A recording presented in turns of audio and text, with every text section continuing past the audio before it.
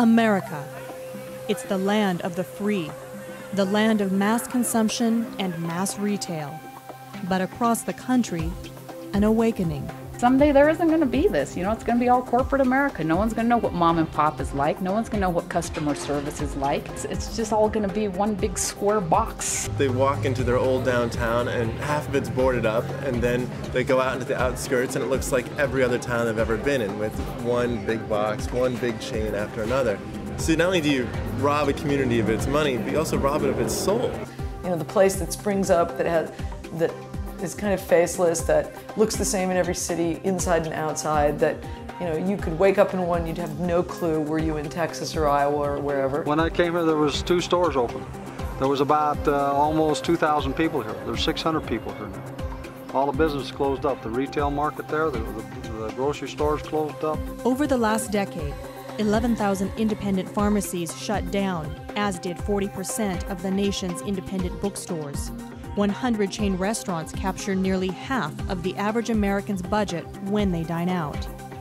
Borders now dominates the national retail book market with over 1,000 locations bolstered by its partner, Amazon.com. Starbucks has nearly 7,000 coffee shops across the country, with 1,300 more by 2007.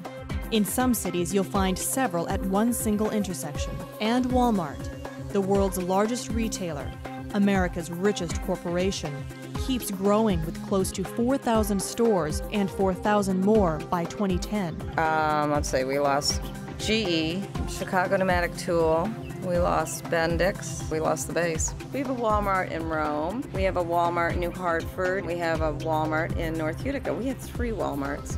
A seismic shift in the economy splits shopping into a national pastime and a political act.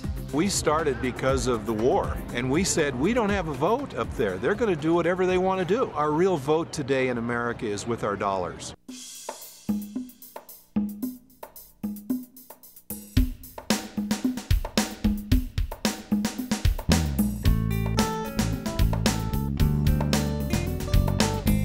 Lights.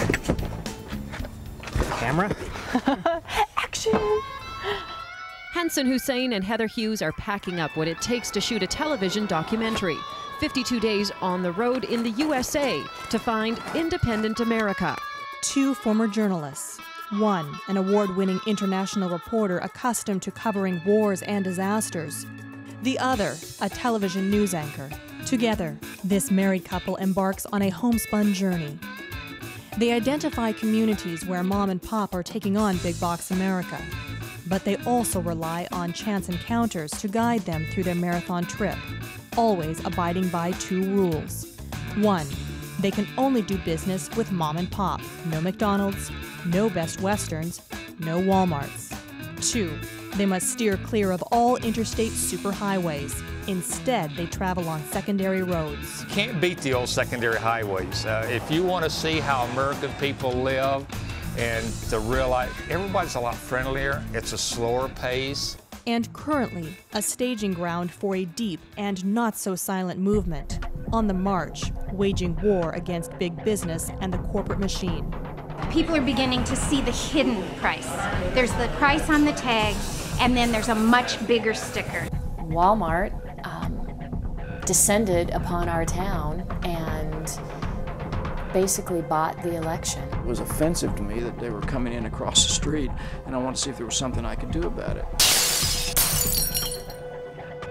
It's definitely caused a lot of animosity in the community. They've been vandalized on multiple occasions. Our attorney has advised us that there will be no comment of any kind concerning uh, retailers of any kind.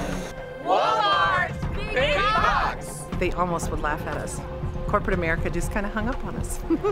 it's a battle, not only between David and Goliath, but between two strong ideologies, both woven into the fabric of independent America. I'm a true American. I love my country, but I fear what Walmart will do for me and my community. And so you literally start to create this elitist economy simply because you have a disconnect with the philosophy of corporate America and they have the ability to pay their workers wages. which would not require government and taxpayers to be subsidizing the health insurance cost of their children. They just refuse to do so for the sake of profits. Most of the criticism that you hear about Walmart is part of a very expensive campaign that's fueled by the unions. Make no mistake about that. A lot of people don't understand how I can be anti-corporate chain and you know, also Republican at the same time. This isn't a left or right issue. This is a community issue. When you're not beholden to a large corporation or centralized power like a government, then you're really free to live the kind of life that you want. An American life unchained by corporate retail. I have. I've eaten things all over the world, but you can't get any better than dip dogs and onion rings, I'm telling you. The reason why we're here. the Dippin' Down. Dippin' Down. You take a bite? Well, you think it's safe?